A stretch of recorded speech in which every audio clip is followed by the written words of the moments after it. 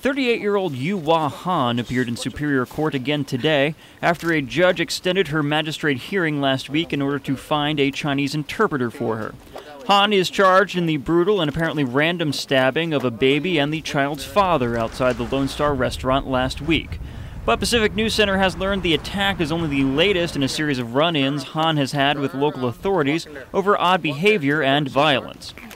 Police have said Han has previously made threats against Governor Felix Camacho, and last year, court documents reveal she faced charges for attempting to assault an immigration consultant in her office.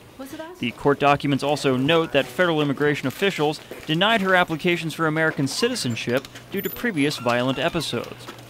But when it comes to the mental health care system's efforts to prevent Han from causing any further trouble, it appears the system failed. A confidential source tells Pacific News Center that Han was previously put in the custody of the Department of Mental Health and Substance Abuse for an evaluation, only to be released 48 hours later after workers deemed her to be no longer a danger to herself or others.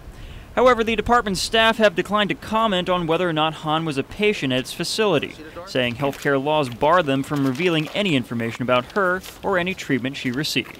Stefan Sebastian, PNC News.